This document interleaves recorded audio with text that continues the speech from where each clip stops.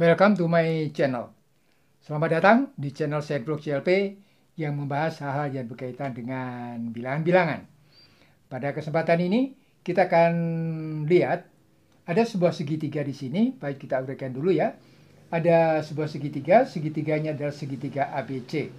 Kemudian dari segitiga ABC ini satuan-satuannya adalah AB itu 7, kemudian BC adalah 2 akar 6. Yang ditanyakan adalah AC.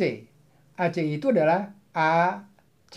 Nah, tapi sebelum lanjut, bantu channel ini berkembang dengan cara subscribe, like, dan payu diberi komentar. Untuk itu, baik ucapkan terima kasih. Semoga hari-hari Anda menyenangkan.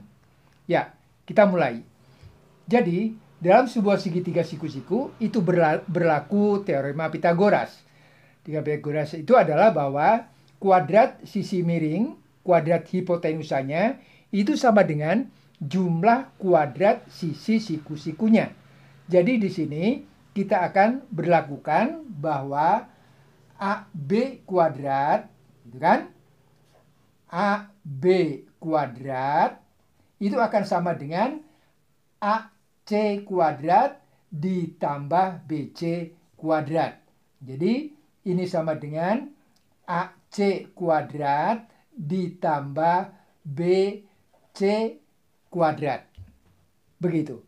Nah, sekarang oleh karena yang akan dicari itu BC, ini ya, maka kita akan BC itu kita akan akan tempatkan di satu ruas. Jadi kalau begitu, BC kuadrat, BC kuadrat adalah AB kuadrat dikurangi AC kuadrat. Kita lanjutkan. Sekarang kita tinggal masukkan unsur-unsur ini ya. Unsur-unsur ini.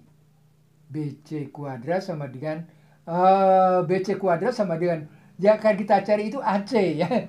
Jadi atau ini juga bisa kita katakan bahwa AC kuadrat AC kuadrat sama dengan sama dengan AB kuadrat AB kuadrat dikurangi BC kuadrat. Ya, kita lanjutkan. Sekarang kita tinggal masukkan saja nilai AB-nya itu 7, kemudian nilai BC-nya itu 2 akar 6. Jadi di sini kita akan bisa lanjutkan sama dengan jadi AC-nya ya AC kuadratnya adalah AB kuadrat. AB itu adalah 7, 7 kuadrat.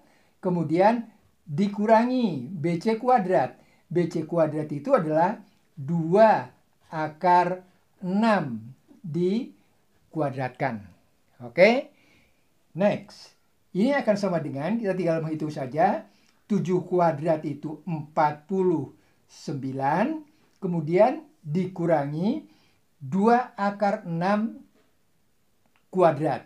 2 akar 6 kuadrat itu sama dengan 2 kuadrat kemudian akar 6 kuadrat. Hmm, gitu ya. Ya, next. Ini sama dengan 49 itu bilangan ini ya dikurangi 2 kuadrat itu 4. 4 kemudian ini kuadratnya hilang, ininya kuadratnya hilang sehingga kali 6. Ya. Kita akan lanjutkan. Ini akan menjadi sama dengan 49 dikurangi 4 kali 6. 4 kali 6 itu 24. Ya. Kita lanjutkan. 24. Ini jadi AC kuadratnya AC kuadratnya adalah 49 dikurangi 24 itu 25. Nah sekarang kalau AC kuadrat itu 25 maka AC-nya adalah akar dari 25. Itu ya. Atau plus minus akar 25. Kemudian dari sini kita akan lanjutkan bahwa berarti kita akan dapatkan bahwa plus atau minus 5. Gitu kan? Nah, sekarang oleh karena ini AC adalah sebuah garis, AC ya, AC adalah sebuah garis, jadi tidak perlu, tidak tidak mungkin bahwa garis itu akan negatif. Oleh karena itu yang dipakai adalah positifnya atau uh, harga mutlak dari 5. Jadi kalau begitu yang kita pakai bahwa AC-nya itu 5. Begitu?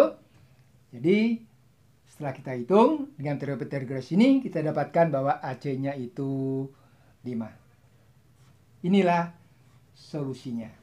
Begitu? Ya. Terima kasih atas dukungan Anda. Jangan lupa subscribe, like, dan diberi komentar. Oleh karena semua Anda hebat.